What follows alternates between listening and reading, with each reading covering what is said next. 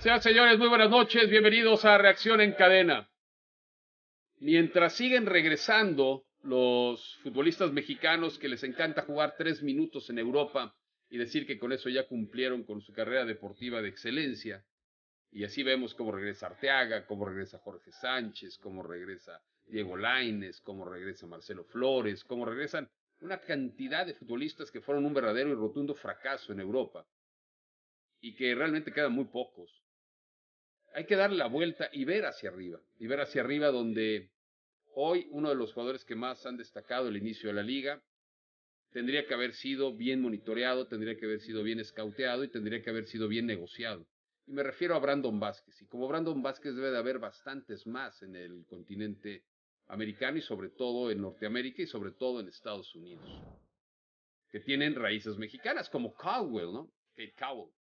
Eh, seleccionados nacionales estos dos jugadores, Kate Cowell y Brandon Vázquez, y que han venido a refrescar la liga con jugadores de verdad, no con petardos, em, arrogantes, maleducados como Javier Hernández, ¿no? Que pues ya está en una carrera verdaderamente deshecha, con las piernas deshechas, las rodillas deshechas, y que creen todavía los ilusos en el Guadalajara que va a hacer algo importante futbolísticamente hablando. No, yo me refiero a los jugadores de la realidad actual de la realidad actual donde México tendría que tener un escauteo verdaderamente importante en Estados Unidos y tener que hacerlos elegibles para México a este tipo de futbolistas. ¿Por qué? Primero para quitarle al enemigo más odiado, futbolísticamente hablando, que es Estados Unidos, talento, porque son mexicanos al final de cuentas.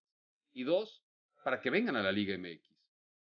Ricardo Peláez hizo el ridículo monumental como directivo, se lo premia, ¿no? Dándole contratos gigantescos en las televisoras, pero hizo un ridículo monumental al basarse en una entrevista diciendo que Brandon Vázquez era muy caro porque costaba 5 millones de dólares según esta página de Transfer Market. Una página que ni es oficial, que la hacen aficionados al fútbol y que son tasaciones aproximadas. El ridículo monumental de un director, de un director deportivo que se basa en lo que dice Transfer Market. Si no se basa un periodista en eso, periodista serio, claro, en lo que dice Transfer Market, ¿qué va a hacer un director deportivo, no? Y Brandon Vázquez no llegó a las Chivas por una estupidez directiva. Así, así de simple. Fue una inoperancia, ineficacia, ignorancia directiva. Y hoy está en los Rayados de Monterrey y está jugando muy bien al fútbol. Y no está en la selección nacional por otra inoperancia deportiva, administrativamente hablando. De estas direcciones de selecciones nacionales que son tan fastuosas, donde ganan tanto dinero, donde están todo el día viajando, donde están todo el día eh, exhibiéndose, pero que no trabajan en nada. Y no trabajan. Esa es la realidad.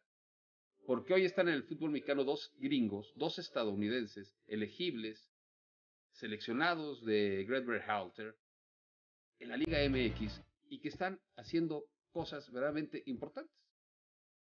Y que van a destacar, y van a seguir destacando en dos equipos importantes. Olvídense de Hernández y sus rodillas ya molidas. Olvídense de Hernández y su Diego Dreyfus y su discurso estúpido.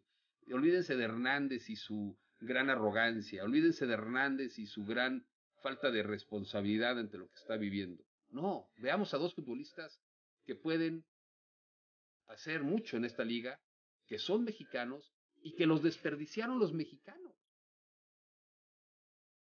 Los desperdiciaron los mexicanos. Inoperancia directiva. Parece que por eso contratan a directores deportivos de fuera, porque los mexicanos, perdón que se los diga, están más preocupados por cuánto dinero ganar que por hacer un equipo competitivo. Y si no, al tiempo a ver quién va a destacar más. El gran ídolo Hernández o Brandon Vázquez en estos tiempos del fútbol mexicano. Iniciamos reacción en cadena.